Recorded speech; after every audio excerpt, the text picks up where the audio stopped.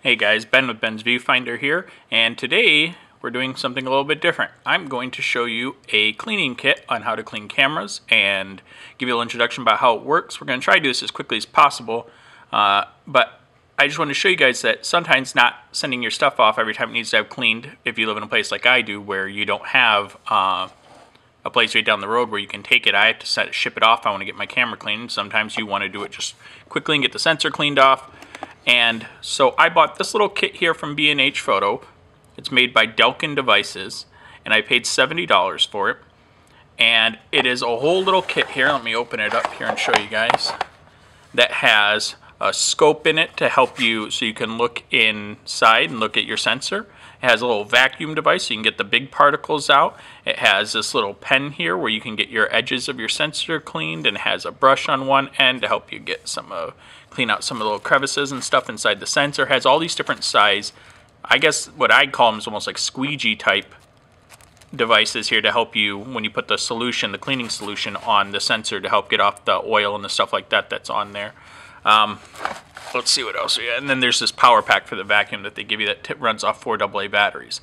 So for this is kind of a complete kit that I got, and I got it because I want to be able to clean my camera sensors when they get all those stupid little spots on them and stuff like that. Now we're going to shoot. I'm also going to turn on my Google Glasses here. I'm going to videotape this from a first-person perspective too to try to help you so you can kind of see what I'm doing here. So let me do that. Okay, glass. Record a video. Alright, we're recording from glass also. Here's my Nikon D3X. Let me extend the video here.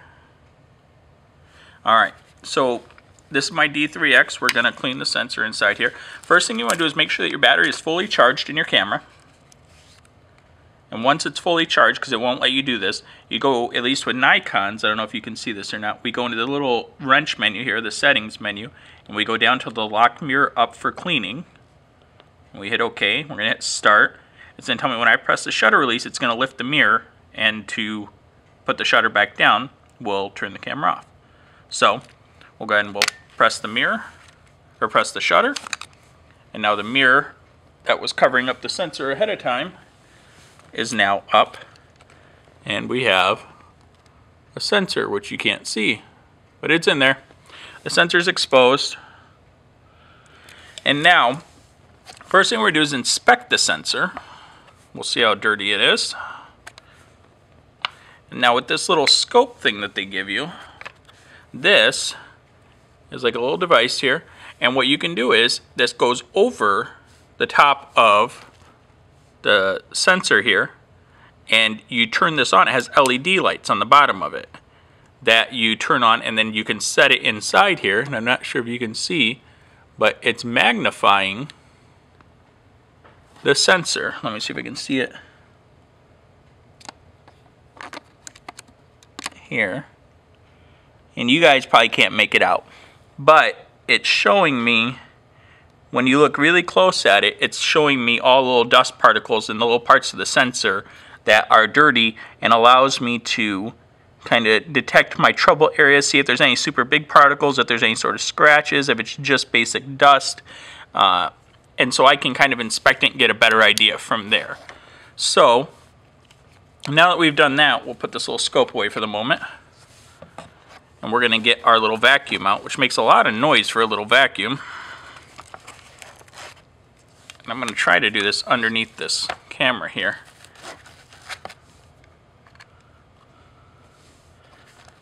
We'll plug our power pack into the USB port here. It's just a little USB plug power packs here. This is what it looks like. Sorry, I'm trying to run two cameras at the same time, so I'm looking at one, looking at the other. So, so we switch this to on, so now we got juice flowing. Now they give you this little protection cover over the top of the brush for the vacuum. You want to make sure you keep that covered because if you touch it, if it touches things, it'll pick up stuff and then you don't want that going inside your camera. So we'll go ahead and uncover that now. And so it has this little bristle brush on the end here. And then we're going to turn this on and we're going to try to get inside of here and we're going to get around some of the edges. We're going to try to clear off the big dust particles that might be inside the chamber here or around the sensor. Make sure that you don't brush this brush across the sensor though. If you need to touch the sensor to get up any big particles, we just do um, like kind of a dabbing technique. And the user manual explained to me, I didn't go and figure this out magically. The user manual explains all this stuff to you. And so we turn this on, and it has a little LED light in here, and it's going to allow me to kind of go in here, and I'm just getting around the edges, getting the stuff that is kind of big and needed. And there's not too much stuff. This camera's still relatively new. It doesn't need a lot of cleaning. And then if there's big particles that you really, really need to be able to get to, there's a high powered button here, this little button. You press that and it goes on to super mode, I guess. And so we're pretty good. Most of the stuff on this sensor in this case is not big particles, so we're not too concerned about it. We'll put the cap back over the um, over the vacuum here. We'll go ahead and take the top off of that too and put that back. And so now what we're going to do is we're just going to clean the actual sensor itself with one of these brushes. Now there's three different types of these brushes here, these bigger, these little squeegee brushes. There's like a, a small, which is for little sensors if you're doing a small sensor camera. And they have size numbers actually. I couldn't tell you the millimeter sizes or whatever. And then there's a medium, and let me see if I can find a large because that's what we're going to want for this. Here we are. It'll give you a good amount of this stuff. You don't, you, you get enough to do multiple cleanings. And if you figure that most camera companies or places will charge you 150 bucks or so to do a good cleaning on your camera, spending $70 on this kit, being able to do multiple cleanings isn't too bad. So you kind of try to line this up. Let's see if you can see it through here. Uh, we try to line this up. You, you kind of set it up and see what the squeegee size is for the right sensor. And your, if you look in your user manual, it'll also tell you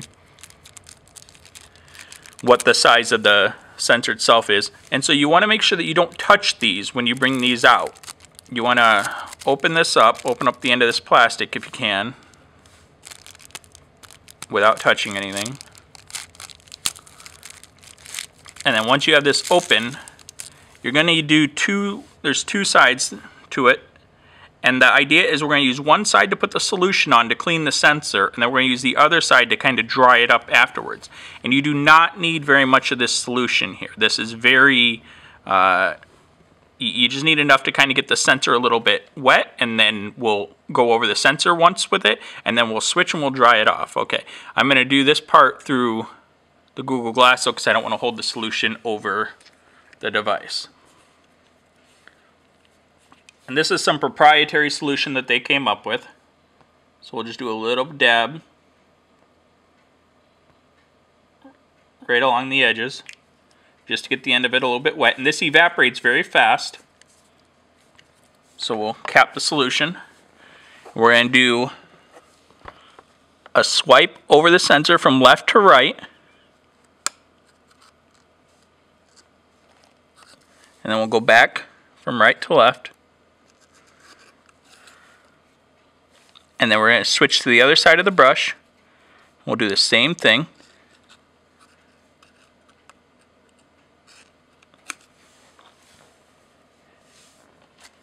And usually, it's a good idea to inspect it with the scope again, see if you got the big stuff off. You want to be careful. You don't want to push on anything too hard. You don't want to...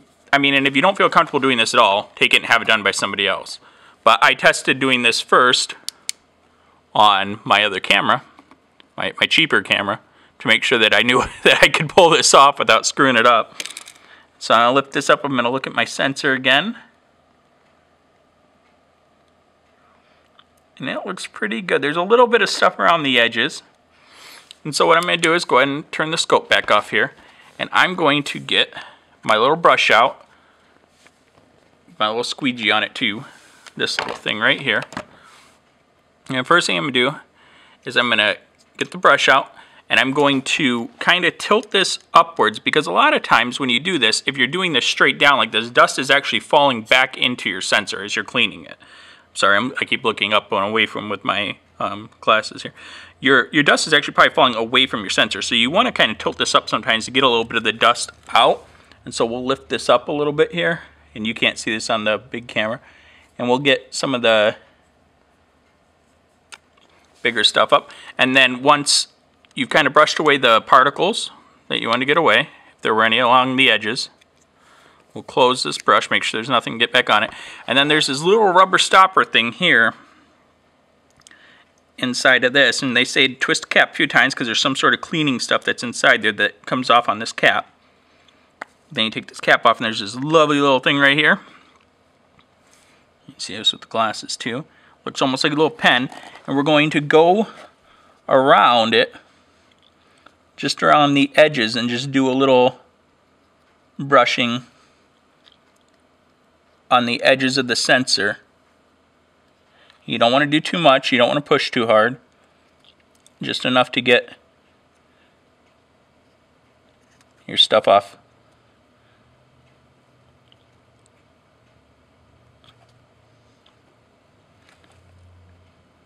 So I think that looks pretty good.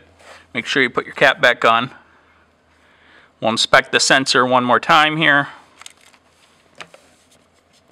Make sure we got everything that we wanted to get off there. And again, make sure you want to check your mirrors and everything to make sure everything's cleaned out. Make sure the whole compartment's pretty good.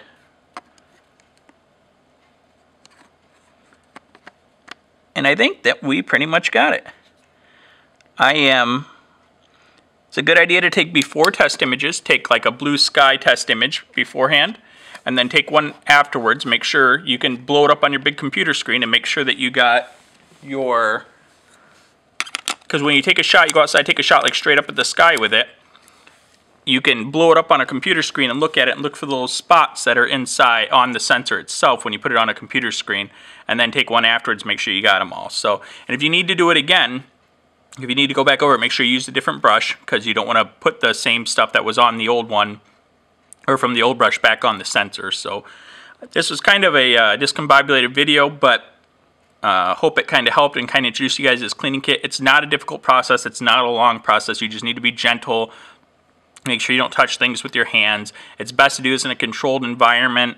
Um, but really, this little Delkin kit is pretty good, and I think it's worth it $70. I've already cleaned two cameras now with it, and comparative to sending it off and getting them clean, that's not bad. Still a good idea, just a warning, to get your camera serviced every now and then where they actually go through and check all the mechanicals and check the sensors and check everything, make sure everything's working properly. Uh, and so you still want to do that every now and then. But for in between cleanings, when you just get a little bit of dust in there or whatever, it's good to have a kit kind of like this. So hope I helped, guys. Check out the blog at bensviewfinder.com, and I will see you soon.